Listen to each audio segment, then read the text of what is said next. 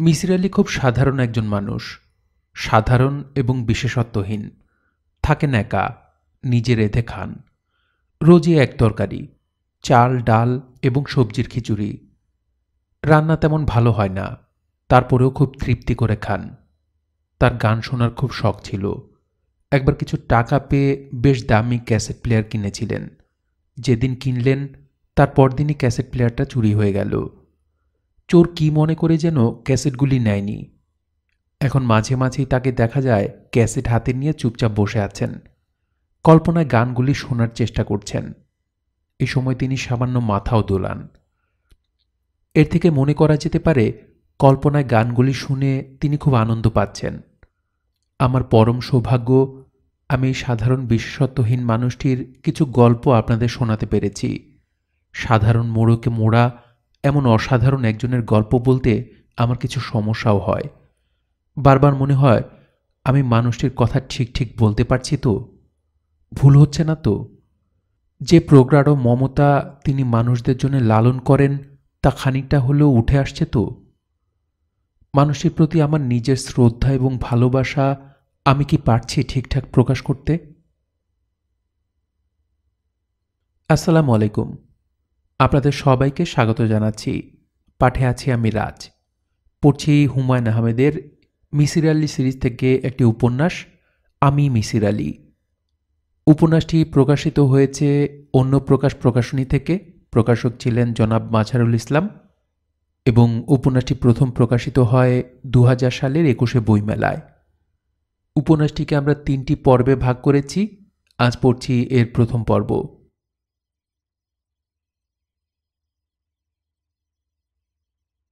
আপনি মিসির আলি? হ্যাঁ। মেয়েটা এমনভাবে তাকালো যেন সে নিজের চোখকে ঠিক বিশ্বাস করতে পারছে না, আবার অবিশ্বাসও করতে পারছে না। বিশ্বাস অবিশ্বাসের দোলা থেকে নিজেকে সামলে নিয়ে নরম গলায় বলল, আমি ভীষণ জরুরি একটা চিঠি নিয়ে এসেছি। চিঠিটা এই মুহূর্তে আপনাকে না দিয়ে একটু পরে দিই। নিজেকে সামলে নেই। আমি মনে মনে আপনার চেহারা যেমন হবে ভেবেছিলাম অবিকল সেরকম হয়েছে। মিসির আলী মেয়েটির দিকে তাকালেন, সরল ধরনের মুখ, যে মুখ অল্পতেই বিস্মিত হয়। বারান্দায় চড়ুই বসলে অবাক হয়ে বলে, ও মাগো কি অদ্ভুত একটা চড়ুই। মেয়েটার সুন্দর চেহারা, মাথার চুল লালচে এবং কোকড়ানো না হলে আরও সুন্দর লাগত। বয়স কত হবে, পঁচিশ ছাব্বিশ, নাকি আরও কম? কপালে টিপ দিয়েছে। টিপটা ঠিক মাঝখানে হয়নি বাঁ দিকে সরে আছে। মেয়েরা সাধারণত টিপ দেওয়ার ব্যাপারে খুব সাবধানী হয়। টিপ এক পাশে হলে কপালে সতীন জোটে, তাই বাড়তি সাবধানতা। এই মেয়েটা হয়তো তেমন সাবধানী নয়, কিংবা এই গ্রাম্য কুসংস্কারটা জানে না। মেয়েটা চোখে কাজল দিয়েছে, গায়ের রং অতিরিক্ত সাদা বলেই চোখের কাজলটা ফুটে বের হয়েছে। শ্যামলা মেয়েদের চোখেই কাজল মানায়, ফর্সা মেয়েদের মানায় না। তারপরেও এই মেয়েটিকে কেন জানি মানিয়ে গেছে? সে পরেছে সবুজ রঙের শাড়ি।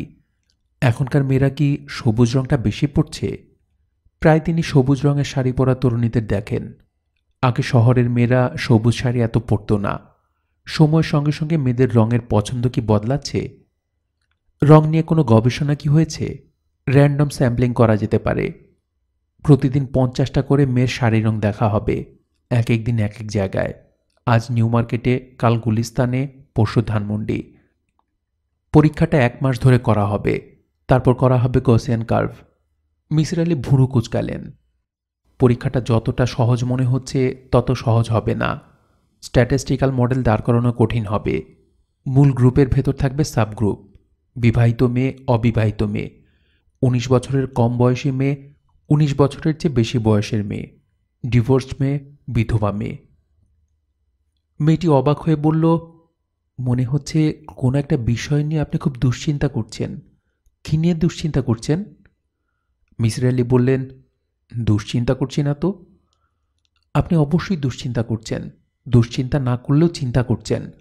কেউ যখন গভীর কিছু নিয়ে চিন্তা করে, তখন বোঝা যায়। তুমি বুঝতে পারো? হ্যাঁ পারি। ও আচ্ছা আমি তো পরিচয় দিইনি। আপনি বসতে বলার আগেই বসে পড়েছি। আমার ডাক নাম লিলি। ভালো নামটা আপনাকে বলব না। ভালো নামটা খুবই পুরনো টাইপ দাদি নানিদের সময়কার নাম। এখন বলতে লজ্জা লাগছে। মিসির আলি বললেন, পুরনো জিনিস তো আবার ফিরে আসছে। পুরনো প্যাটার্নের গয়নাকে এখন খুব আধুনিক ভাবা হচ্ছে। যত আধুনিকই ভাবা হোক, আমার ভালো নামটাকে কেউ কখনো আধুনিক ভাববে না। আচ্ছা আপনাকে বলেই ফেলি, আপনি কিন্তু হাসতে পারবেন না। আমি হাসব না। আমি খুব সহজে হাসতে পারি না। আমার ভালো নাম হলো মারহাবা খাতুন। নামটার একটা ইতিহাস আছে। ইতিহাস আরেকদিন বলব। ইতিহাসটা শুনলে এখন নামটা আপনার কাছে যতটা খারাপ লাগছে, তত খারাপ লাগবে না। তখন মনে হবে এই নামও চলতে পারে। এখনও যে নামটা আমার কাছে খুব খারাপ লাগছে, তা না। আপনার খারাপ লাগছে তো বটেই। আপনি ভদ্রতা করে বলছেন খারাপ না।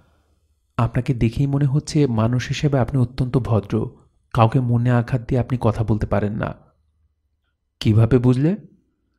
এই যে আমি বকবক করে যাচ্ছি, আপনি মনে মনে খুবই বিরক্ত হচ্ছেন, কিন্তু কিছুতেই সেটা প্রকাশ করছেন না। আপনি নিজেকে ব্যস্ত রাখার জন্য অন্য কিছু ভাবছেন। আচ্ছা সত্যি করে বলুন তো, আপনি কি আমার বকবকানিতে বিরক্ত হচ্ছেন না? মিসির আলী জবাব না দিয়ে চুপ করে রইলেন। তিনি যথেষ্ট বিরক্ত হচ্ছেন। একটা বয়স পর্যন্ত হয়তো মেয়েদের অকারণ অর্থহীন কথা শুনতে ভালো লাগে, তারপর আর লাগে না। এই মেয়েটি অকারণে কথা বলেই যাচ্ছে। মেয়েটার মনে গোপন কোনো টেনশন কি আছে? টেনশনের সময় ছেলেরা কম কথা বলে, মেয়েরা বলে বেশি।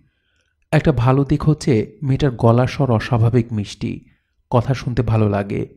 এর গলা স্বর একঘেয়ে হলে এতক্ষণে মাথা ধরে যেত। বেলা বারোটার মতো বাজে। মিসির আলীকে নিউ মার্কেট যেতে হবে। একটা কেরোসিনের চুলা, সেই সঙ্গে আরও কিছু টুকিটাকি জিনিস কিনবেন।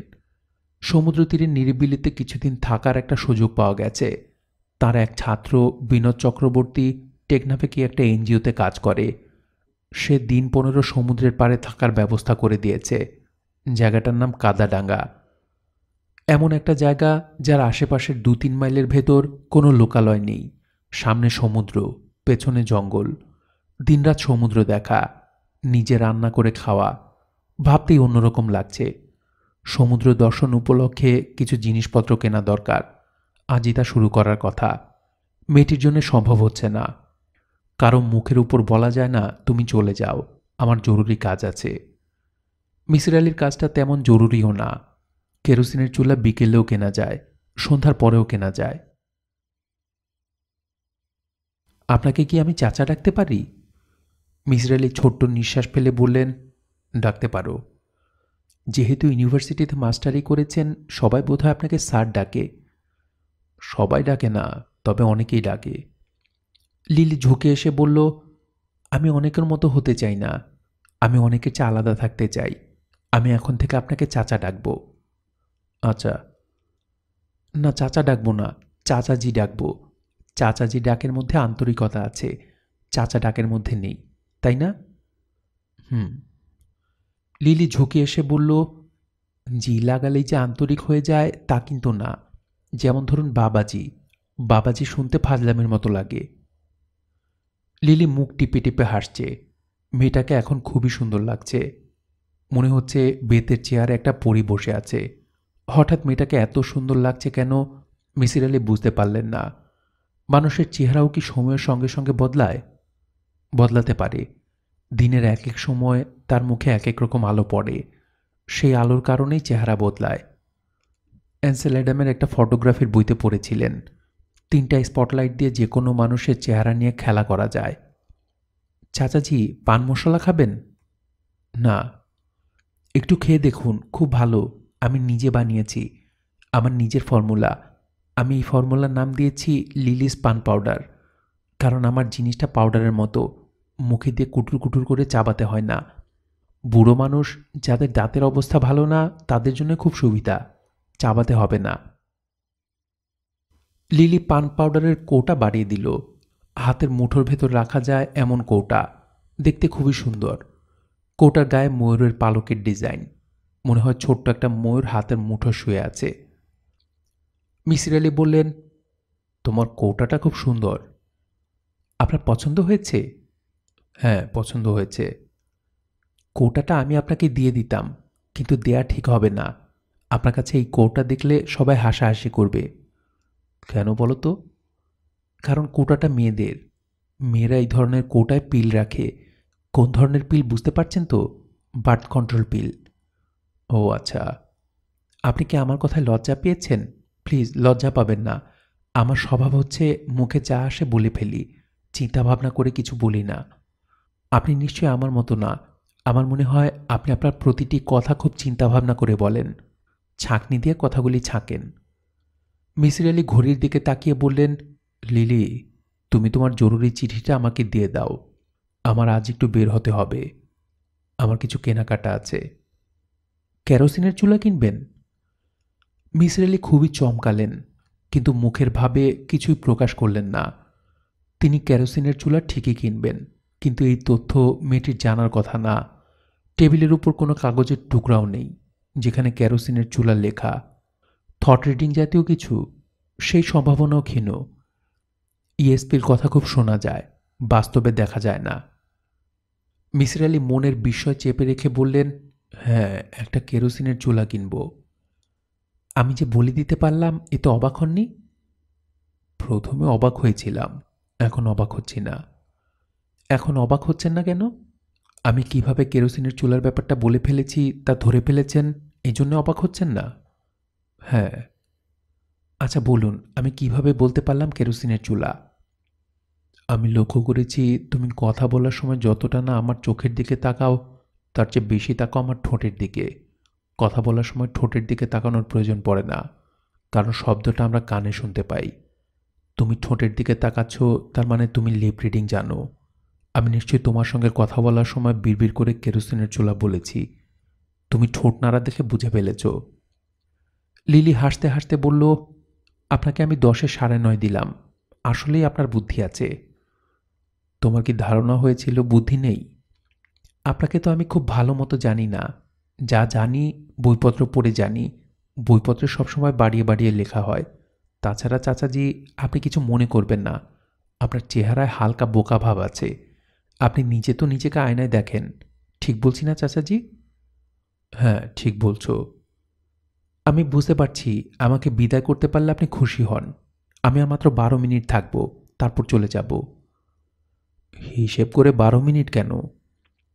লিলি হাসি মুখে বলল একটা বাজার ঠিক দশ মিনিট আগে আপনাকে আমি চিঠিটা দেব। এই চিঠি আগেও দেয়া যাবে না, পরেও দেয়া যাবে না। একটা বাজার ঠিক দশ মিনিট আগেই দিতে হবে। কারণটা হচ্ছে আজ মে মাসের ছয় তারিখ। এই তারিখে সূর্য ঠিক মাথার উপর আসবে একটা বেজে দশ মিনিটে। যিনি চিঠিটা আমার কাছে দিয়েছেন, তিনি এইসব বিষয় খুব ভালো জানেন। সূর্য মাথার উপর আসার ব্যাপারটা আমি তার কাছ থেকে জেনেছি। চিঠিটা কে দিয়েছে? তোমার হাজব্যান্ড জি। তার শখ কি আকাশের তারা দেখা? যারা আকাশের তারা দেখে এইসব ব্যাপার তারাই খুব ভালো জানে। হ্যাঁ তিনি আকাশের তারা দেখেন। তার তিন চারটা টেলিস্কোপ আছে। আচ্ছা চাচাজি, বইপত্রে পড়ি আপনার অবজারভেশন ক্ষমতা অস্বাভাবিক। দেখি তো কেমন? আমাকে দেখে আমার হাজব্যান্ড সম্পর্কে বলুন। বলা কি সম্ভব? না সম্ভব না। কিছু নিশ্চয়ই বলা সম্ভব। এই যে আমি বললাম তিনি আকাশের তারা দেখেন। এই বাক্যটা আমি সম্মানসূচক তিনি ব্যবহার করেছি। এখান থেকে তো আপনি বলতে পারবেন যে আমার স্বামীর বয়স বেশি। সমবয়সী হলে বলতাম, ও আকাশের তারা দেখে। মিসির আলী নড়ে চড়ে বসলেন। এই মেয়েটি সহজ সরল চোখের ভেতরে তীক্ষ্ণ চোখ লুকিয়ে আছে। এই চোখকে অগ্রাহ্য করা ঠিক না। কেরোসিনের চুলা কিনতে যাচ্ছেন কেন? আমি কয়েকদিনের জন্য বাইরে যাব। নিজে রান্নাবান্না করে খেতে হবে, তার প্রস্তুতি। শুধু কেরোসিনের চুলা কিনলে হবে না, এর সঙ্গে আরও অনেক কিছু কিনতে হবে। কি কি কিনতে হবে? আসুন তার একটা লিস্ট করে ফেলি। এতে দ্রুত সময় কেটে যাবে। লিলি তার হ্যান্ডব্যাগ খুলে কাগজ কলম বের করল। মিসির আলীকে অবাক করে দিয়েই টেবিলে ঝুঁকে দ্রুত লিখে ফেলল। এক, কেরোসিনের চুলা। দুই, চুলার ফিতা। তিন, কেরোসিন। চার, ছুরি। পাঁচ, কাঠের বোর্ড। মাছ গোস্ত কাটার জন্যে। ছয় কেতলি সাত সসপ্যান, আট দুটি হাঁড়ি, ভাতের এবং তরকারির, নয় চায়ের কাপ, দশ চামচ, এগারো কন্ডেন্সড মিল্ক বারো চা, তেরো কফি। মেয়েটা এমনভাবে লিখছে যেন মিসির আলি চেয়ারে বসে পড়তে পারেন। মেয়েটার এই ভঙ্গিটা ভালো লাগছে কাজের ভঙ্গি। কাজটা সে হেলা ফেলার সঙ্গে করছে না, গুরুত্বের সঙ্গে করছে। আপনি একা যাচ্ছেন? হ্যাঁ। আমারও মাঝে মাঝে খুব ইচ্ছা করে একা কোথাও গিয়ে থাকতে। রবিনসন ক্রুশোর মতো একা কোনো দ্বীপে বাস করা। কি করব, না করব কেউ দেখবে না। আমার মনে হয় আমি একা একা সারা জীবন কাটাতে পারব। আচ্ছা চাচাজি, আপনি কি পারবেন? বুঝতে পারছি না, আমি কখনো ভেবে দেখিনি। কোনো পুরুষ মানুষের পক্ষে একা একা সারা জীবন কাটানো সম্ভব না। পুরুষদের নানান ধরনের চাহিদা আছে। ভদ্র চাহিদা, অভদ্র চাহিদা ওদের চাহিদা শেষ নেই। মেয়েরা কি তার থেকে মুক্ত? মেয়েরাও তার থেকে মুক্ত না, তবে মেয়েরা ব্যক্তিগত চাহিদার কাছে কখনো পরাজিত হয় না, পুরুষরা হয়। লিলির লেখা বন্ধ করে সোজা হয়ে বসতে বসতে বলল, সব মিলিয়ে আটত্রিশটা আইটেম লিখেছি। এই আটত্রিশটা আইটেম সঙ্গে নিয়ে গেলে আপনি একা একা থাকতে পারবেন। এর মধ্যে ওষুধও আছে। চট করে অসুখ বিসুখ হলে ডাক্তারখানা পাবেন না। থ্যাংক ইউ আমি কাল আবার আসব। এর মধ্যে যদি আরও নতুন কোনো আইটেমের নাম মনে আসে, আপনাকে বলব। আচ্ছা। লিলি ছোট্ট নিঃশ্বাস ফেলে বলল, এখন একটা বেজে দশ মিনিট, এই নিন চিঠি। দয়া করে ঝুড়িতে ফেলে দেবেন না, পড়বেন। তবে আমার সামনে পড়বেন না, আমি চলে যাবার পর পড়বেন। অবশ্যই পড়ব। আমি বাজার করতে খুব পছন্দ করি। আপনি যদি রাজি হন, তাহলে কাল যখন আসব তখন আপনাকে নিয়ে কেরোসিনের চুলা টুলা কিনে দেব। আপনি যে দামে কিনবেন, আমি তার অর্ধেক দামে কিনে দেব। আর কিছু আইটেম আছে যা দোকানে গেলে মনে পড়বে। কাগজ কলম নিয়ে বসলে মনে পড়বে না। এই তো, এখন একটা জরুরি আইটেম মনে পড়ল, ন্যাকড়া। ন্যাকড়া? হ্যাঁ ন্যাকড়া। ন্যাকড়াকে মোটেই তুচ্ছ মনে করবেন না। চুলা থেকে গরম চায়ের কেতলি নামাবেন কীভাবে? হাতের কাছে ন্যাকড়া না থাকলে হয়তো গায়ের শার্টের একটা অংশ দিয়ে নামাতে যাবেন, তারপর অ্যাক্সিডেন্ট। সারা গা গেল পুড়ে। ভালো কথা, ওষুধের লিস্টে আমি বার্নল লিখে দিয়েছি। নিতে কিন্তু ভুলবেন না। আচ্ছা ভুলবো না। চাচাজি, বাজার করার সময় আমাকে কি আপনার সঙ্গে নেবেন? তুমি কাল আসো, তখন দেখা যাবে। আমার সমস্যা কি জানো? আমি আমার নিজের কাজগুলি নিজেই করতে ভালোবাসি। কেউ আমাকে কোনো ব্যাপারে সাহায্য করছে, এটা ভাবতে আমার কাছে খারাপ লাগে। এই জন্যে কি বিয়ে করেননি? বিয়ে না করার পেছনে এটা কারণ হিসেবে কাজ করেনি। বউকে দিয়ে কাজ করাবো, এই ভেবে তো আর কেউ বিয়ে করে না। কাল আমি ঠিক এগারোটার সময় আসব। আচ্ছা আমার যেতে ইচ্ছা করছে না। আরও কিছুক্ষণ আপনার সঙ্গে গল্প করতে ইচ্ছা করছে। বসবো? না, আমি এক নাগারে কারও সঙ্গে পঞ্চাশ মিনিটের বেশি গল্প করতে পারি না। দীর্ঘদিন মাস্টারি করছি তো, মাস্টারদের ক্লাসগুলি হয় পঞ্চাশ মিনিটের। যেসব শিক্ষক দীর্ঘদিন অধ্যাপনা করেছেন, তারা কখনো পঞ্চাশ মিনিটের বেশি কোনো সিটিং দিতে পারেন না। আমার নাম কি আপনার মনে আছে? মনে আছে। ডাকনাম লিলি, ভালো নাম মারহাবা খাতুন।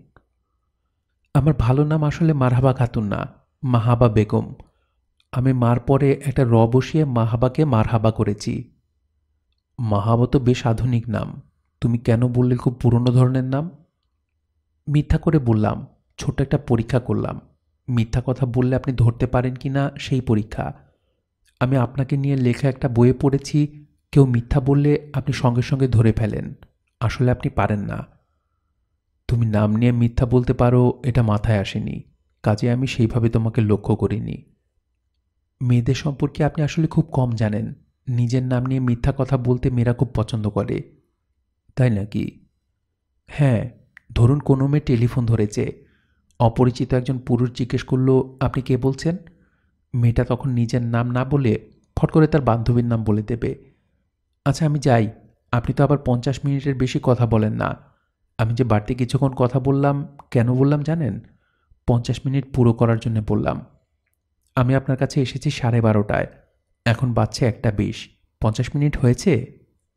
হ্যাঁ হয়েছে। আপনি আমাকে দ্রুত বিদায় করতে চাচ্ছিলেন।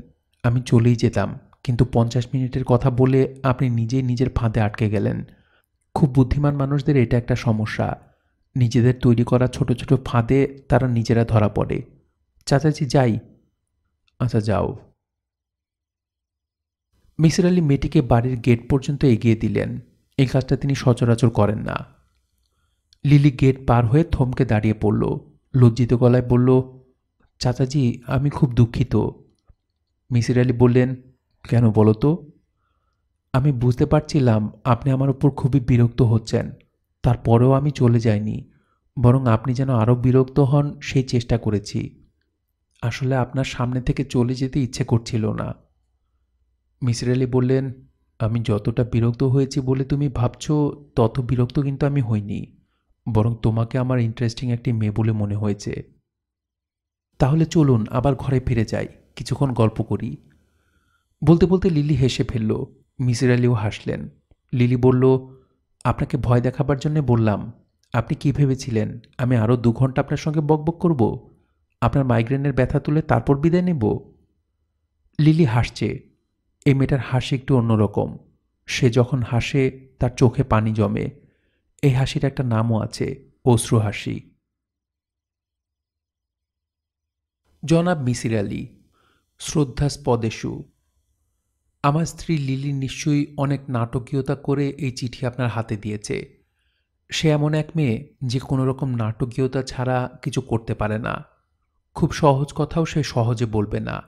দু তিন জায়গায় প্যাচ দিয়ে বলবে। সহজ কথাটাকেই তখন মনে হবে ভয়ঙ্কর জটিল। আপনি খুব বড় সাইকিয়াট্রিস্ট। আপনার কাছে হয়তো এর ব্যাখ্যা আছে। আমার কাছে কোনো ব্যাখ্যা নেই। যাই হোক, মূল প্রসঙ্গে আসি। আমি এবং আমার স্ত্রী, আমরা দুজনই আপনার মহাভক্ত। আপনার বিষয়ে প্রকাশিত প্রতিটি গ্রন্থ আমার স্ত্রী কয়েকবার করে পড়েছে এবং আমাকেও পড়তে বাধ্য করেছে। আমি আপনার সঙ্গে নিরিবিলিতে কিছু কথা বলার জন্য অত্যন্ত আগ্রহী। সবচেয়ে ভালো হতো আমি যদি লিলির সঙ্গে ঢাকায় চলে আসতে পারতাম। তা সম্ভব হচ্ছে না, কারণ আমি বন্দি জীবনযাপন করছি। গত সাত বছর ধরেই আমি হুইল চেয়ারে আছি। রোড অ্যাক্সিডেন্টে স্পাইনাল কর্ড জখম হয়েছিল। আপনি তো জানেন, স্পাইনাল কর্ডের জীবকোষ কখনো রিজেনারেট করে না। আমাকে আমার ভাগ্য মেনে নিতে হয়েছে। চাকার জীবনে অভ্যস্ত হবার চেষ্টা করছি। অভ্যস্ত হওয়া সম্ভব হচ্ছে না। কখনো হবে তাও মনে হয় না। নিজেকে এখন আর আমার মানুষ বলে মনে হয় না। মনে হয় আমি একটা দু চাকার রিক্সা আপনাকে ভুলিয়ে ভালিয়ে এখানে আনার একটি পরিকল্পনা আমি এবং আমার স্ত্রী দুজনে মিলে করেছি। জানি না আপনাকে কনভিন্স করতে পারব কি না। চেষ্টা করে দেখা যাক। আমার এখানে আসার জন্যে তিনটি টোপ আমি ফেলেছি। কেন জানি আমার মনে হচ্ছে প্রথম দুটি টোপ কাজ না করলেও শেষটি করবে। টোপ দিয়ে মাছের মতো মানুষও ধরা যায়। টোপ নাম্বার এক। আমাদের বসত বাড়িটা মেঘনার পাড়ে। উঁচু পাঁচিল দিয়ে ঘেরা দোতলা পাকা দালান। দোতলায় প্রশস্ত টানা বারান্দা। বারান্দা থেকে মেঘনা দেখা যায়। না দেখা গেলেই ভালো হতো। কারণ এই মেঘনা জমি গ্রাস করতে করতে দ্রুত এগিয়ে আসছে। যে কোনো সময়, হয়তো এবছরই, আমাদের এই অতি চমৎকার বাগান বাড়িটা গ্রাস করবে। আমাদের বাড়িটা চমৎকার। বাড়ির সামনের বাগান চমৎকার। আমি নিশ্চিত একবার আপনি এসে উপস্থিত হলে অবাক বিষয়ে বলবেন বাকি জীবনটা এখানে কাটিয়ে দিতে পারলে কি ভালোই না হতো। আমাদের বাড়ির পেছনে কিছু অদ্ভুত গাছ, বাড়ির আদি মালিক বাবু অশ্বিনী রায় লাগিয়েছিলেন। আমার দাদা যান এই বাড়ি পরে তার কাছ থেকে কিনে নিয়েছিলেন। গাছগুলির নাম এখানে কেউ জানে না। এর মধ্যে একটা গাছের গা থেকে নীল বর্ণের কষ বের হয়। দুবছর পরপর মরিচের ফুলের মতো নীল রঙের ফুল ফোটে। আমার স্ত্রী গাছটির নাম দিয়েছে নীলমরিচ গাছ। আমার এখানে যেই আসে, সেই গাছটার একটা নাম দেয়। আপনিও হয়তো একটা নাম দেবেন। টোপ নাম্বার দুই। আপনার বিষয়ে একটা বইয়ে পড়েছি, আপনার সারা জীবনের শখের বস্তু হলো ভালো একটা টেলিস্কোপ। যে টেলিস্কোপে আপনি বৃহস্পতির চাঁদ দেখতে পারবেন, শনির বলয় দেখতে পারবেন। আপনার অবগতির জন্য জানাচ্ছি, টেলিস্কোপ চোখে দিয়ে আকাশের দিকে তাকিয়ে থাকা বর্তমানে আমার একমাত্র শখ। বৃহস্পতি গ্রহের চাঁদ দেখা বা শনির বলয় দেখার চেয়েও বিস্ময়কর দৃশ্য অ্যান্ড্রোমিডা নক্ষত্রপুঞ্জ দেখা। নক্ষত্রপুঞ্জের স্পাইরালে শত শত নক্ষত্র ঝলমল করছে। এই দৃশ্য একবার দেখলে সারা জীবনের জন্য আকাশের গায়ে আটকে থাকতে হবে। আমি সর্বশেষ যে টেলিস্কোপটি এনেছি, তার সঙ্গে ট্র্যাকার যুক্ত। পৃথিবীর ঘূর্ণনের সঙ্গে টেলিস্কোপও ঘুরবে। কাজে আকাশে যে বস্তুটিকে ফোকাস করা হয়েছে সেই বস্তু কখনো দৃষ্টির আড়াল হবে না। আপনি যদি আসেন, দুজনে মিলে আকাশের তারা দেখব। দুজনে মিলে দেখব, কারণ লিলির তারা দেখার কোনো আগ্রহ নেই। আমি ঠিক করে রেখেছি, আমার চারটা টেলিস্কোপের একটা আমি আপনাকে উপহার দেব। চারটা টেলিস্কোপই আমার অত্যন্ত প্রিয়। সেখান থেকে আপনাকে একটা উপহার হিসেবে দিতে আমার কষ্ট যে হবে না, তা না। কষ্ট হবে। তবে আপনি এই টেলিস্কোপ চোখে লাগিয়ে গাঢ় আনন্দ পাবেন। এটা ভেবেই সেই কষ্ট দূর করব। টোপ নাম্বার তিন। এইটি শেষ টোপ। আমি নিশ্চিত এই টোপে আপনি কাবু হবেন। ইএসপি ক্ষমতা সম্পন্ন মানুষ সম্পর্কে আপনার প্রবল কৌতূহল। সালমা নামের একটি চোদ্দ পনেরো বছরের মেয়ে আমাদের সন্তানে আছে। গ্রামেরই মেয়ে। মেয়েটি অতীন্দ্রিয় ক্ষমতা সম্পন্ন। আমি নানাভাবে পরীক্ষা করেছি এবং নিশ্চিত হয়েছি। একটি পরীক্ষা হলো বিখ্যাত জেনার টেস্ট। তার ক্ষমতা কোন পর্যায়ে সেটা এখন আর ব্যাখ্যা করলাম না। কিছুটা রহস্য রেখে দিলাম। টোপ নাম্বার চার। যদিও তিনটা টোপ ব্যবহার করার কথা ছিল, তারপরেও আমি চতুর্থ টোপটি ব্যবহার করছি। অনেকের ব্যাপারে এই টোপ কাজ করলেও আপনার ব্যাপারে করবে বলে মনে হচ্ছে না। এটা হলো লিলির রান্না। রান্নার উপর নোবেল পুরস্কার দেবার ব্যাপার থাকলে প্রতি বছরই সে একটা করে নোবেল পুরস্কার পেত। সামান্য আলু ভাজাও যে অমৃতসম খাদ্য হতে পারে, লিলির আলু ভাজা না খেলে বুঝতে পারবেন না। টোপ নম্বর পাঁচ। ক্ষমা প্রার্থনাপূর্বক আরও একটি টোপ। এটি আপনাকে কাবু করে ফেলবে বলে আমার ধারণা। আমার ব্যক্তিগত লাইব্রেরির কথা বলছি। বইয়ের মোট সংখ্যা আঠারো হাজারের বেশি। আপনার পছন্দের বিষয়ে সাইকোলজি, বিহেভিয়ারাল সায়েন্স। প্রচুর বই আছে। শুধু একটি নাম উল্লেখ করছি, অ্যাসমন্ডের the other mind. Misir Ali সাহেব, কয়েকটা দিনের জন্য আপনি কি আসতে পারেন না? আমার শরীর পঙ্গু। কিন্তু মনটা পঙ্গু না। আপনি নিজে একজন সতেজ মনের মানুষ। আপনার সঙ্গে মানসিক যোগাযোগের জন্যে গভীর আগ্রহ নিয়ে অপেক্ষা করছি। বিনীত এস সুলতান হক। পুনশ্চ, আকাশ দেখার জন্যে এই সময়টা খুব ভালো, কুয়াশা থাকে না এবং চার দিন পরে অমাবস্যা, আকাশ ভর্তি হয়ে যাবে তারায়। শুক্লপক্ষ তারা দেখার জন্য ভালো না। চাঁদের আলোয় তারা রৌজ্জ্বল্য কমে যায়। কাজে এখনই সময়। মিসির আলী যে কোনো চিঠি তিনবার পড়েন। চিঠির ভেতরে কিছু কথা থাকে যা একবার পড়ে ধরা যায় না। দ্বিতীয় কিংবা তৃতীয়বার ধরা পড়ে। এটিও তিনবার পড়লেন। সুন্দর চিঠি, সুন্দর হাতের লেখা। প্রতিটি অক্ষর স্পষ্ট। কাটাকুটি যে নেই তা না। তবে কাটা অংশগুলি হোয়াইটিং দিয়ে মুছে দেয়া। ভদ্রলোকের বাগান বাড়িতে যেতে ইচ্ছা করছে, কিন্তু সম্ভব না। মিসির আলী তার ছাত্রকে কুরিয়ারে চিঠি দিয়েছেন। সে সব কাজ ফেলে টেকনাফে এসে বসে থাকবে। তিনি না পৌঁছলে খুব অস্থির বোধ করবে, দুশ্চিন্তা করবে। তিনি কাউকে অকারণ দুশ্চিন্তায় ফেলতে চান না। লিলিকে দেখে মিসির আলী চিনতে পারলেন না। চিনতে পারার কথাও না। দরজা ধরে যে দাঁড়িয়ে আছে, সে আগের দিনের লিলি না, অন্য কেউ। মাথার চুল নীল রঙের স্কার্ফ দিয়ে ঢাকা, চোখে কালো চশমা। ঠোঁটে গাঢ় লাল লিপস্টিক জাপানি কিমানোর মতো একটা পোশাক পরেছে। তার রং দেখে চোখ ধাঁধিয়ে যায়। উঁচু হিলের জুতা পরেছে বলে তাকে দেখাচ্ছে অনেক লম্বা। চাচাজি, আমাকে চিনতে পারছেন না? আমি লিলি, মাহাবা বেগম।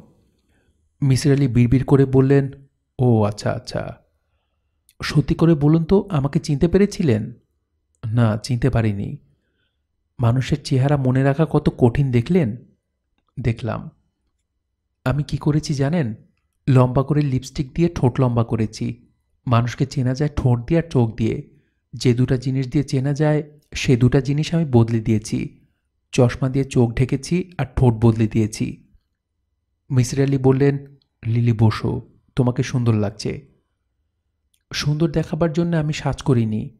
নিজেকে বদলে দেবার জন্য করেছি। ভালো কথা, চাচাজি। আপনি কি কেরোসিনের চুলা এইসব কিনে ফেলেছেন? না, কেনা হয়নি। লিলি স্বস্তির নিঃশ্বাস ফেলে বলল, বাঁচলাম, কারণ আমি সব কিনে ফেলেছি। এমন অনেক কিছু কিনেছি যা লিস্টে ছিল না, যেমন hurricane, torch, battery, half KG সুতুলিও কিনেছি। সুতুলি কেন? এখন আপনার কাছে মনে হচ্ছে সুতুলি কী জন্যে? কিন্তু একা থাকতে গিয়ে দেখুন, সুতুলি কত কাজে লাগবে। মশারি খাটাবার জন্য লাগবে, ভেজা জামা কাপড় শুকোতে দেবেন, তার জন্য দড়ি টানাতে হবে। আরও অনেক কিছুর জন্য লাগবে, শলার ঝাড়ুও কিনেছি। কত টাকা খরচ হয়েছে? আপনার বাজেটের চেয়েও কম লেগেছে। তুমি তো জানো না আমার বাজেট কত। বাজেট যতই হোক, তার চেয়ে কম, কারণ বাংলাদেশে আমার চেয়ে দরাদরি আর কেউ করতে পারে না। চাচাজি, শুনুন, এই যে বাজার টাজার করে ফেলেছি, তার জন্য রাগ করেননি তো? না। প্লিজ রাগ করবেন না। আর একটা কথা, জিনিসগুলির দাম দেবারও চেষ্টা করবেন না। কোনো লাভ হবে না। কারণ কিছুতেই দাম দিতে পারবেন না। আমার হাজব্যান্ডের চিঠিটা পড়েছেন? হ্যাঁ। আপনি টোপ গেলেননি, তাই না? আপনি নিশ্চয়ই সমুদ্র ফেলে তারা দেখতে যাচ্ছেন না। সমুদ্র হাত দিয়ে ছোঁয়া যায়।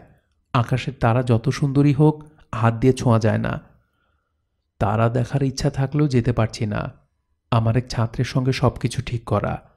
সে আবার আমাকে অতিরিক্ত রকমের শ্রদ্ধা ভক্তি করে। সে টেকনাফে এসে বসে থাকবে। লিলি হাসি মুখে বলল, আপনাকে টেকনাফে না দেখলে তার মাথা খারাপের মতো হয়ে যাবে। সেভাবে আমাদের স্যার ভোলা টাইপের মানুষ। না জানি তার কি হয়েছে। ঠিক বলেছ, লিলি। আমার কোনো ইএসপি ক্ষমতা নেই, কিন্তু আমি জানতাম আপনি আমাদের এখানে আসবেন না। আমি আমার হাজব্যান্ডকে সেটা বলেছি, সে বিশ্বাস করেনি। তার ধারণা সে এমন গুছিয়ে চিঠিটা লিখেছে যে চিঠি পড়ে আপনি হোরলল বেঁধে রওনা দিয়ে দিবেন। উত্তর দক্ষিণে তাকাবেন না। মিসির আলি বললেন, চিঠিটা খুবই গুছিয়ে লেখা। লিলি বলল, আপনার জন্য চিঠিটা গুছিয়ে লেখা না। আবেগ আছে এমন সব মানুষদের জন্য চিঠিটা গুছিয়ে লেখা। আপনি তাদের দলে পড়েন না। তোমার ধারণা আমার আবেগ নেই? আছে, তবে তা সাধারণ মানুষের আবেগ না, অন্য ধরনের আবেগ। আপনাকে যদি লেখা হতো, আমি মহা বিপদে পড়েছি, মারা যাচ্ছি, একমাত্র আপনি আমাকে মৃত্যুর হাত থেকে বাঁচাতে পারেন, তাহলে আপনি চলে যেতেন। কিন্তু সেটা তো আর লেখা যাবে না, কারণ ও মারা যাচ্ছে না। মিসির আলি বললেন, লিলি, তুমি এক কাজ করো, তোমাদের ঠিকানাটা লিখে রেখে যাও। সমুদ্র দেখা শেষ হলে তোমাদের ওখানে চলে যাব। আপনি একা একা খুঁজে বের করতে পারবেন না, যাওয়াও খুব ঝামেলা। ট্রেন, বাস, রিক্সা, হাঁটা, একটু ঝামেলা না হয় করলাম। লিলি হেসে ফেলে বলল, থাক, দরকার নেই। চাচাজি, শুনুন, আমি কিন্তু আরও পঞ্চাশ মিনিট থাকব। আমাকে আগে ভাগে বিদায় করে দিতে চাইলেও আমি যাব না। তবে আজ যে গতদিনের মতো শুধু বকবক করব তা না, আপনাকে কফি বানিয়ে খাওয়াবো। আমি কফি নিয়ে এসেছি। আপনি কফি পছন্দ করেন তো? করি। মিসির আলি দেখলেন লিলি তার কাঁধে ঝোলানো পাটের ব্যাগ থেকে কফির কৌটা, মগ, চায়ের চামচ এবং ফ্লাস্ক বের করছে। বোঝা যাচ্ছে কফি বানানো হবে। মেয়েটা কফির সব সরঞ্জাম নিয়ে এসেছে, গরম পানিও এনেছে। ফ্লাস্কে নিশ্চয়ই গরম পানি আছে। লিলি বলল, মেশিন ছাড়া এক্সপ্রেসও কফি বানানো যায় না, কিন্তু আমি বানাতে পারি। আপনাকে শিখিয়ে দিচ্ছি। আপনি প্রতিটি স্টেপ খুব ভালোভাবে লক্ষ্য করুন। এই দেখুন কি করছি। এক চামচের চেয়ে সামান্য বেশি নিলাম কফি। চিনি নিলাম তিন চামচ। এখন চিনি আর কফি মিক্স করছি। চামচ দিয়ে ঘষে ঘষে মেশানো। এই মেশানোর কাজটা অনেকক্ষণ করতে হবে। যত ভালো মতো মেশাবেন, কফি তত ভালো হবে। এত যন্ত্রণা? যন্ত্রণা ভাবলে যন্ত্রণা। আমি কখনো যন্ত্রণা ভাবি না। যে লেখক লেখাকে যন্ত্রণা মনে করেন, তিনি কখনো লেখক হতে পারেন না। ঠিক তেমনই যে রাঁধুনি রান্নাকে যন্ত্রণা মনে করেন তিনি রাঁধুনি হতে পারেন না। চাচাজি, আপনার কাছে কি আলু আছে? না। থাকলে ভালো হতো। আমি আপনাকে আলু ভাজা কি করে করতে হয় শিখিয়ে দিতাম। যেসব রান্না খুব সহজ মনে হয়, সেসব রান্না আসলে খুব কঠিন। আমার মতে পৃথিবীর সবচেয়ে কঠিন রান্না হলো চা বানানো, আর দ্বিতীয় কঠিন রান্না হলো আলু ভাজা। লিলি চিনির সঙ্গে কফি মিশিয়েই যাচ্ছে। ক্লান্তিহীন আঙুল নাড়াচাড়া করছে। তার মুখ উজ্জ্বল। যেন কোনো বিশেষ কারণে সে আনন্দিত, আনন্দ চেপে রাখতে পারছে না। মিসির আলি ভুরু কুঁচকালেন সেই বিশেষ কারণটা কি? তিনি তাদের বাগান বাড়িতে যাচ্ছেন না, এটাই কি বিশেষ কারণ? লিলি বলল, চাচাজি, আপনি কি লক্ষ্য করেছেন? কফি কাপ থেকে এখন চমৎকার কফির গন্ধ আসতে শুরু করেছে? হ্যাঁ লক্ষ্য করছি। তার মানে হলো এখন আমরা তৈরি পানি ঢালার জন্যে। এখন আমি ওয়ান থার্ড কাপ পানি ঢেলে চামচ নেড়ে নেড়ে ফেনা করব। ফেনায় যখন কাপ ভর্তি হয়ে যাবে, তখন বাকি পানিটা ঢালবো। তৈরি হয়ে যাবে এক্সপ্রেসো কফি? হ্যাঁ আগে তো আর কফি বানানোর মেশিন ছিল না। এইভাবেই কফি বানাতে হতো। এখন আর কেউ কষ্ট করতে চায় না। ফট করে মেশিন কিনে ফেলে। মিস সিগারেট ধরাতে ধরাতে বললেন, লিলি, তোমাকে দেখে মনে হচ্ছে তুমি খুব আনন্দিত। তোমার মধ্যে একটা দুশ্চিন্তা ছিল। দুশ্চিন্তা হঠাৎ কেটে গেছে। লিলি বলল কফি বানাচ্ছি তো, এই জন্যই আমাকে আনন্দিত মনে হচ্ছে। যে কোনো রান্নাবান্নার সময় আমি খুব আনন্দে থাকি। মিস রেলি বললেন, ব্যাপারটা তা না। যেই মুহূর্তে আমি বললাম, আমি তোমাদের বাগান বাড়িতে যেতে পারছি না, সেই মুহূর্তেই তোমার চোখ মুখ উজ্জ্বল হয়ে গেল। কারণ ব্যাখ্যা করো তো। আমি আমার হাজব্যান্ডের সঙ্গে বাজি রেখেছিলাম যে আপনি যাবেন না। আপনি না যাওয়াতে আমি বাজি জিতেছি তো, এই জন্যই হয়তো আমার চোখে মুখে আনন্দ চলে এসেছে। পৃথিবীতে সমস্ত স্ত্রীদের একটা চেষ্টা থাকে কোনো না কোনোভাবে তাদের স্বামীদের হারিয়ে দেয়া। যেহেতু আপনি বিয়ে করেননি, আপনি এই ব্যাপারটা জানেন না। লিলির কফি বানানো শেষ হয়েছে। ফেনা ওঠা কফির কাপ মিসির আলির সামনে রাখতে রাখতে সে বলল, চাচাজি, চুমুক দিয়ে দেখুন। মিষ্টি একটু বেশি লাগবে। উপায় নেই। এক্সপ্রেসো কফি কড়া মিষ্টি না হলে ভালো লাগে না। মিসির আলি কফির কাপ হাতে নিতে নিতে বললেন, লিলি আমি সিদ্ধান্ত পাল্টেছি, তোমাদের বাগান বাড়িতে যাব। শেষ পর্যন্ত তুমি তোমার স্বামীর কাছে বাজিতে হারলে।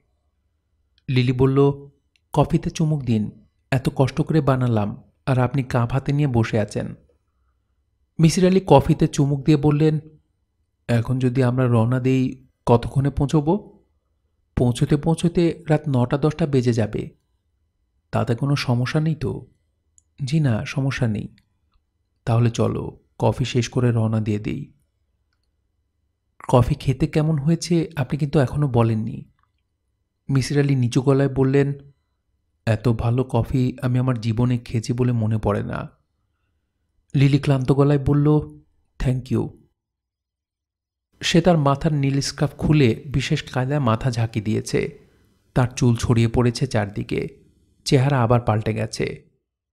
মিসির আলির মনে হলো, মেয়েটা কখন কি করবে সব আগে থেকে ঠিক করা। সে যে একটানে মাথা থেকে স্কার্ফ খুলে মাথা ঝাঁকাবে, এটাও সে আগে থেকেই ঠিক করে এসেছে। মিসির আলি হঠাৎ লক্ষ্য করলেন, তার গা ছমছম করছে। যেন অশুভ কিছু তার জন্য অপেক্ষা করছে। ভয়ঙ্কর কিছু, লৌকিক কিছু না, অলৌকিক কিছু। অনেককাল আগে তার একবার এরকম অনুভূতি হয়েছিল। শ্যামগঞ্জ রেল স্টেশনে অপেক্ষা করছেন। গভীর রাত। তিনি এগারো সিন্ধুর এক্সপ্রেসে ভৈরব যাবেন। ট্রেন আসবে ভোর রাতে। পৌষ মাসের মাঝামাঝি। প্রচণ্ড শীত। ওয়েটিং রুমে বসে সময় কাটানোর জন্য ঢুকতে যাবেন। হঠাৎ তার পা জমে গেল। বুক ধকধক করতে লাগল। মনে হলো ওয়েটিং রুমে অশুভ কিছু আছে। ভয়ঙ্কর কিছু। যে ভয়ঙ্করের কোনো ব্যাখ্যা নেই। তার উচিত কিছুতেই ওয়েটিং রুমে না ঢোকা। একবার ঢুকলে আর বের হতে পারবেন না। কৌতূহল সবসময় ভয়কে অতিক্রম করে। তার বেলাতেও তাই হলো। তিনি কৌতূহলী হয়েই উঁকি দিলেন। ওয়েটিং রুমে ইজি চেয়ারে একজন বৃদ্ধ। হলুদ কম্বল গায়ে দিয়ে শুয়ে আছে। বৃদ্ধের হাতে জ্বলন্ত সিগারেট।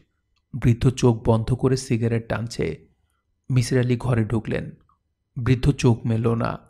তবে তার ঠোঁটের কোনায় সামান্য হাসি দেখা গেল।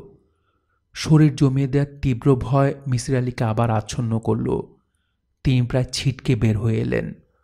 বাকি রাতটা কাটালেন প্ল্যাটফর্মে পাইচারি করে। এগারো সিন্ধু এক্সপ্রেস ভোর চারটা চল্লিশে প্ল্যাটফর্মে ইন করল। মিসির আলি ট্রেনে ওঠার আগে আরেকবার ওয়েটিং রুমে উঁকি দিলেন। বৃদ্ধ যাত্রী ঠিক আগের জায়গাতেই আছে। মাথা নিচু এবং চোখ বন্ধ করে আগের মতোই সিগারেট টানছে। ঠোঁটের কোনায় আগের মতোই অস্পষ্ট হাসি। মিসির আলি তার জীবনে এই ভয় পাওয়া ঘটনাকে নানাভাবে ব্যাখ্যা করার চেষ্টা করেছেন। সবচেয়ে কাছাকাছি ব্যাখ্যা যেটা দাঁড় করিয়েছিলেন সেটা হলো, কিশোর বয়সে তিনি নিশ্চয়ই নির্জন স্টেশনের ওয়েটিং রুমের কোনো ভূতের গল্প পড়ে ভয় পেয়েছিলেন। ভয়টা এতই তীব্র ছিল যে মস্তিষ্কের নিউরন সেই স্মৃতি, মূল্যবান কোনো স্মৃতি মনে করে যত্ন করে মেমোরি সেলে ঢুকিয়ে রেখেছে। নষ্ট হতে দেয়নি। অনেককাল পরে আরেকটি নির্জন স্টেশন দেখা মাত্র মস্তিষ্ক মনে করল এরকম একটা স্মৃতি তো আছে। স্মৃতিটা বের করে বর্তমানের সঙ্গে মিলিয়ে দেখা যাক। যেহেতু অনেক দিনের স্মৃতি, বের করতে গিয়ে সমস্যা হলো। স্মৃতির কিছু অংশ নষ্ট হয়ে গেল, কিছু অন্যরকম হয়ে গেল। মস্তিষ্ক শুধু যে স্মৃতি বের করে আনলো তা না, স্মৃতির মনে জড়িত ভয়ঙ্কর ভীতিও বের করে আনলো। এরকম কাণ্ড কারখানা মস্তিষ্ক মাঝে মাঝে করে। এর যেমন মন্দ দিক আছে, ভালো দিকও আছে। মস্তিষ্কের ভেতর হঠাৎ নিউরনের প্রবল ঝড় সৃষ্টি হয়। এতে ক্ষতিকারক স্মৃতি উড়ে চলে যায়। স্মৃতি জমা করে রাখা মেমোরি সেল খালি হয়। আজ যে ভয়টা পাচ্ছেন, তার পেছনের কারণটা কি? তিনি দাঁড়িয়ে আছেন পাঁচিল ঘেরা প্রকাণ্ড বাড়ির গেটের কাছে। অন্ধকারে পাঁচিল ঘেরা বাড়িটাকে জেলখানার মতো লাগছে। তিনি দাঁড়িয়ে আছেন একা। এতক্ষণ লিলি তার সঙ্গে ছিল। অনেকক্ষণ ডাকাডাকি করে সে দারোয়ান শ্রেণির কাউকে দিয়ে গেট খুলিয়েছেন। তাও পুরো গেট না। গেটের অংশ, যার ভেতর ছোটোখাটো মানুষ হয়তোবা কষ্ট করে ঢুকতে পারে। গেট খুলতেই লিলি তার দিকে ফিরে বলল, স্যার, আপনি দাঁড়ান। পাঁচ ছয় মিনিট লাগবে। আমি কুকুর বেঁধে আসি। আমাদের তিনটা কুকুর আছে, খুবই উগ্র স্বভাব। অপরিচিত কাউকে দেখলে কি করবে কে জানে? আমাকে একবার কামড়ে দিয়েছিল। মিসির আলি তারপর থেকে দাঁড়িয়ে আছেন। তিনি ঘড়ি দেখেননি, কিন্তু তার কাছে মনে হচ্ছে পাঁচ ছ মিনিটের অনেক বেশি সময় পার হয়েছে। কোনো সারা শব্দ পাওয়া যাচ্ছে না। বিশাল বাড়ি, কিন্তু পুরোপুরি নিঃশব্দ।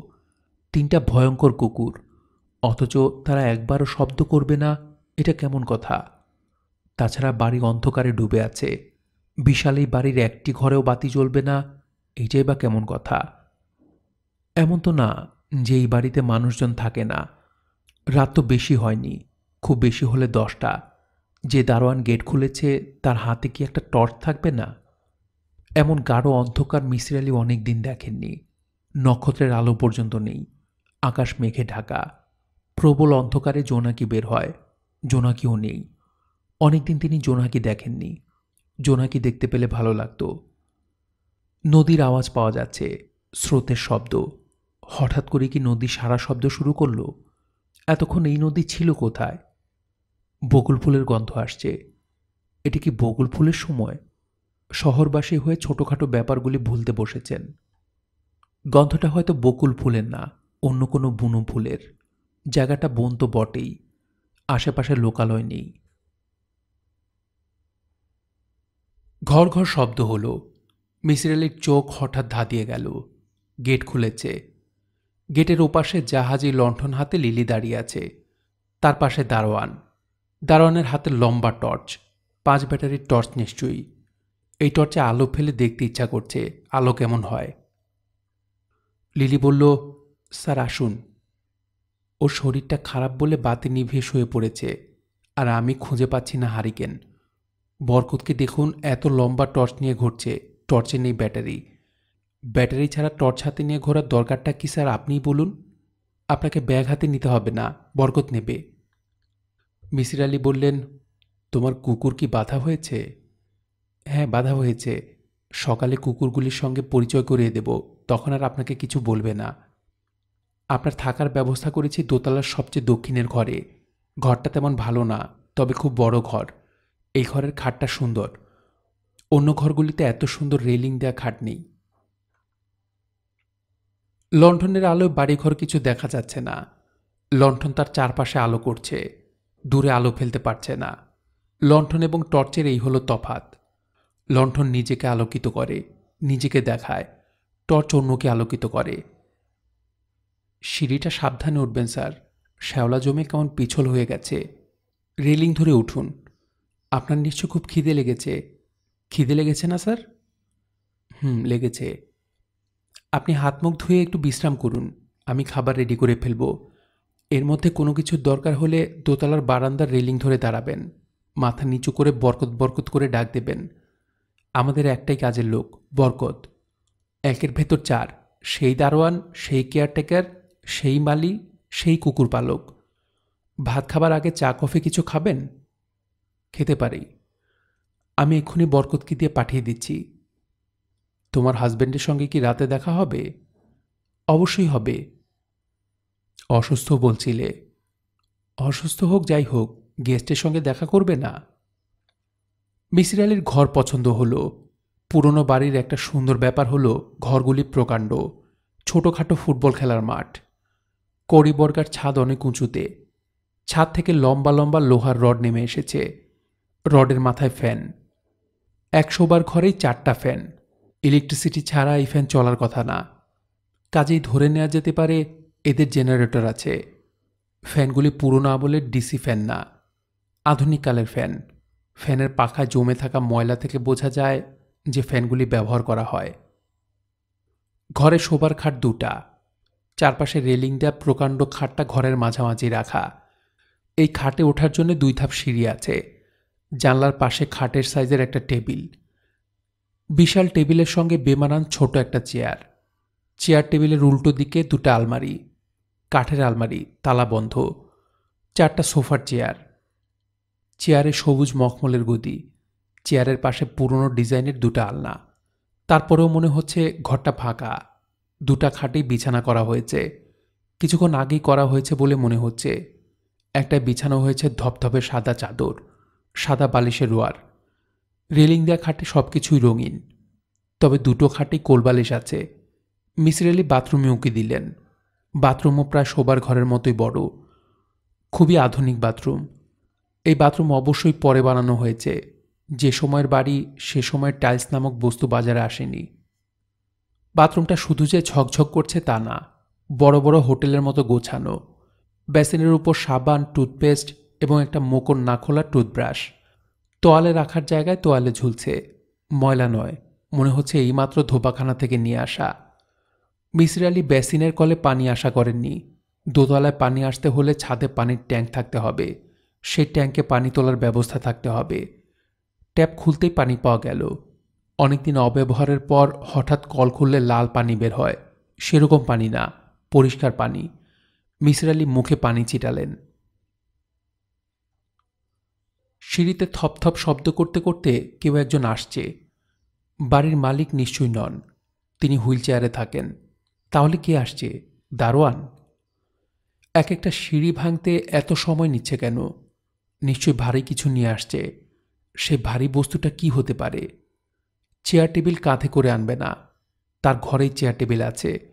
বালতিতে করে গরম পানিকে আনছে? রাতের বেলায় অতিথিদের গরম পানি দেওয়ার রেয়াজ আছে।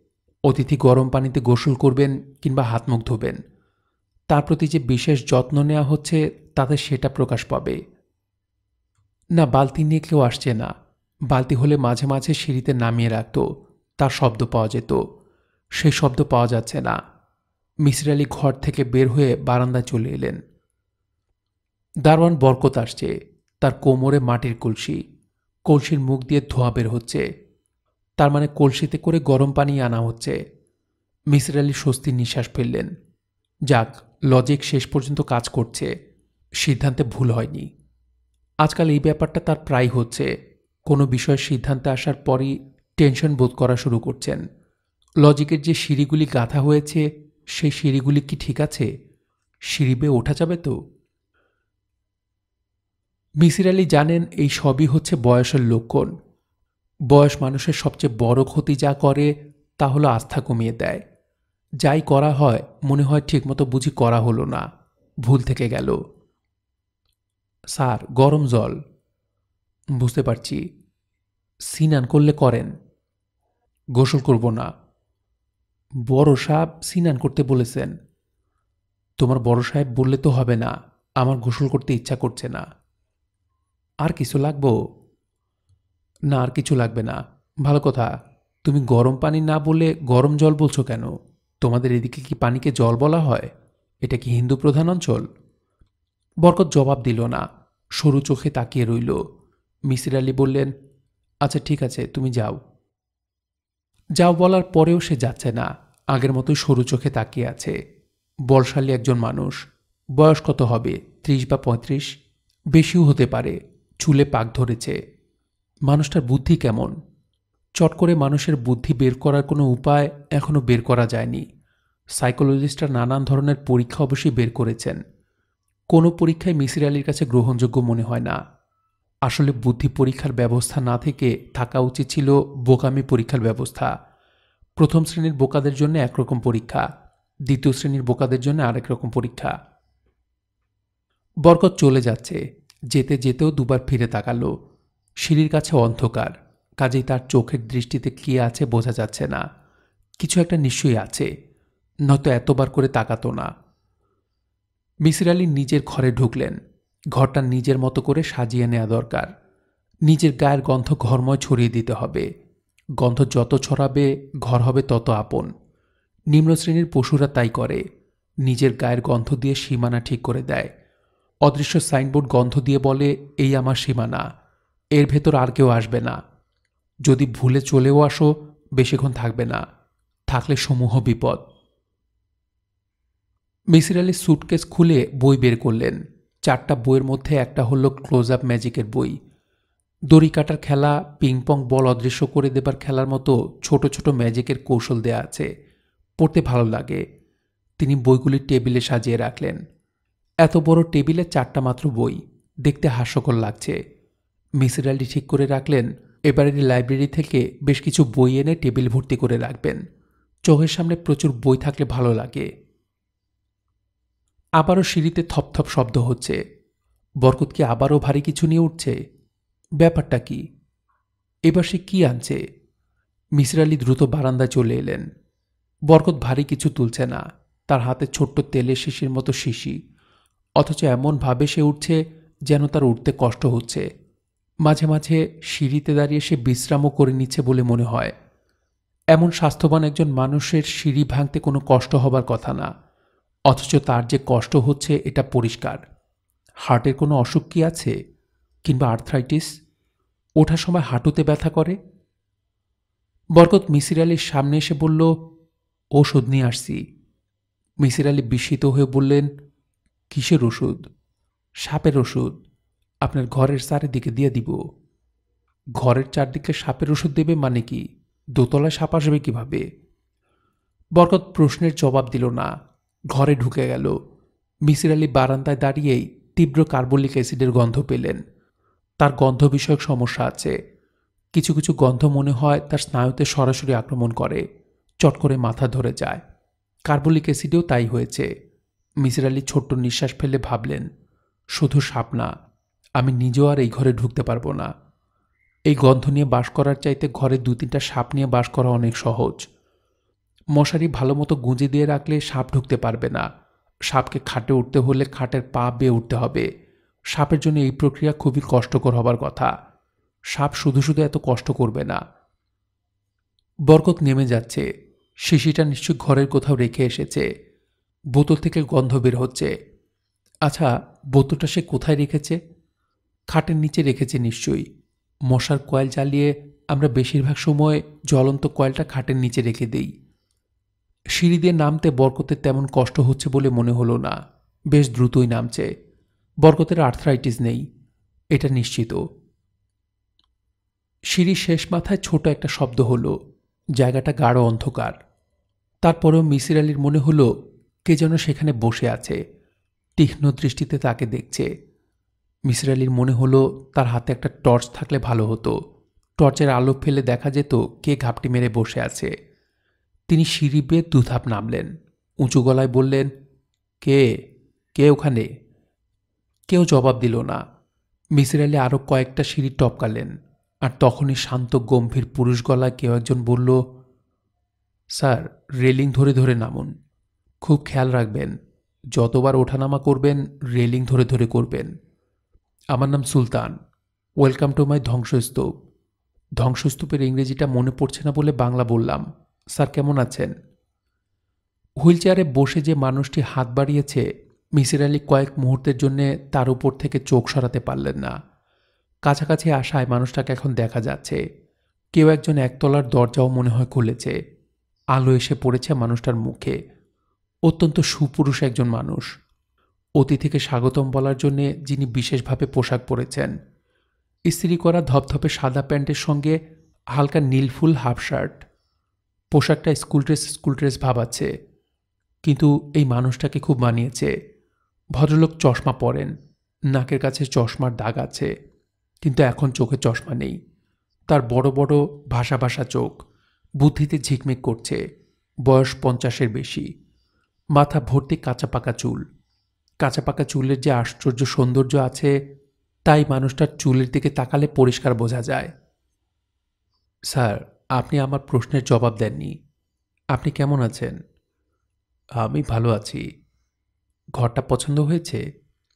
কার্বলিক অ্যাসিড দেওয়ার আগ পর্যন্ত পছন্দ ছিল। আমার কিছু গন্ধ বিষয়ক সমস্যা আছে। আপনি এসেছেন, আমি অসম্ভব খুশি হয়েছি। খুশি প্রকাশটা অবশ্যই করতে পারছি না। আপনি তীক্ষ্ণ বুদ্ধির মানুষ। আপনি নিশ্চয় আমার খুশি ধরতে পারছেন। মিসির আলী কিছু বললেন না। মানুষটা যে খুশি হয়েছে তা বোঝা যাচ্ছে। আনন্দিত মানুষের ভেতর অস্থিরতা থাকে। ব্যথিত মানুষ চুপচাপ হয়ে থাকে।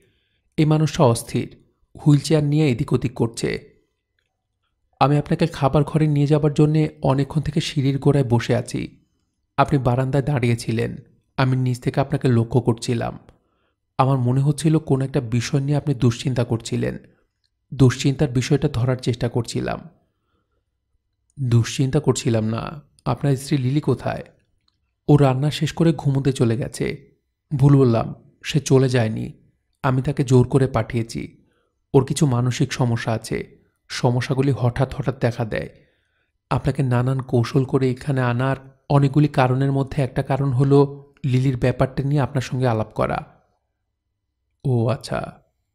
স্যার, আসুন, খেতে আসুন। খাবার ঘরটা একতলায়। একতলায় থাকায় রক্ষা। আমি যেতে পারছি। দোতলায় হলে যেতে পারতাম না। মিসির আলী ভেবেছিলেন বিশাল একটা খাবার ঘর দেখবেন। তা দেখলেন না। ছোট ঘর।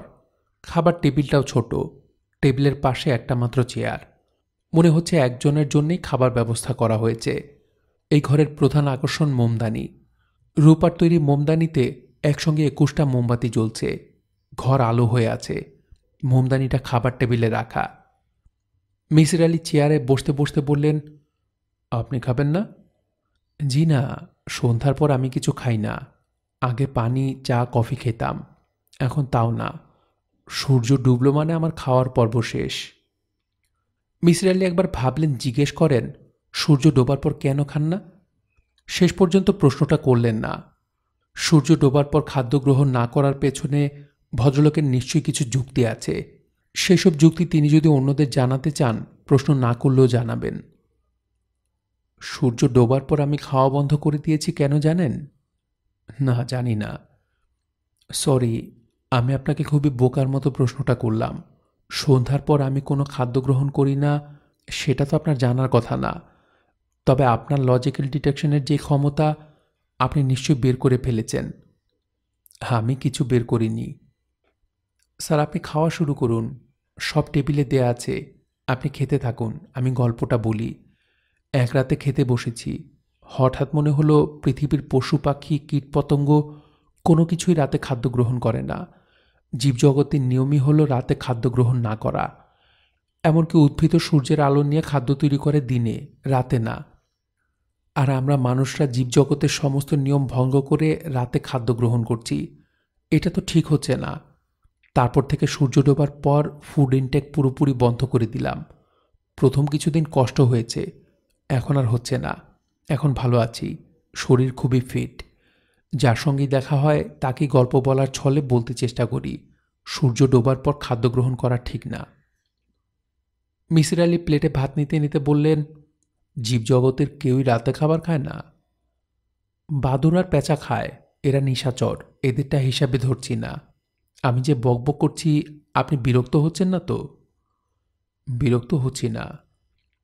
প্রথম দফাতে অনেক বিরক্ত করে ফেলেছি, আর করব না। আপনি খাওয়া দাওয়া শেষ করে বিশ্রাম করুন। আমি বইয়ে পড়েছি, আপনি একা খেতে পছন্দ করেন। সব কিছু দেয়া আছে, আপনি খান। আমি পাশের ঘরেই থাকব। কোনো দরকার হলে ডাকবেন। মিসির আলি বিবৃত গলায় বললেন, আমার একা খাওয়াটা কোনো নিয়মের কারণে না। একা থাকি বলেই একা খাই। একা খেয়ে আপনার অভ্যাস হয়ে গেছে। হঠাৎ করে এই অভ্যাস ভাঙানো ঠিক হবে না। আপনি খাওয়া শেষ করুন। তখন শুভরাত্রি জানানোর জন্য আসব। আপনাকে খুব স্পেশাল ডেজার্টও খাওয়াবো।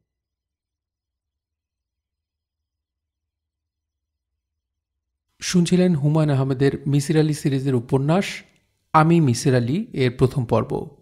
উপন্যাসটি আপনাদের কাছে কেমন লাগছে তা আপনারা কমেন্ট করে আমাদেরকে জানাবেন। ভালো লাগলে একটি লাইক করবেন, চাইলে শেয়ার করতে পারেন। আপনারা সবাই ভালো থাকবেন, সুস্থ থাকবেন এবং গল্পতরুর সঙ্গেই থাকবেন। ধন্যবাদ।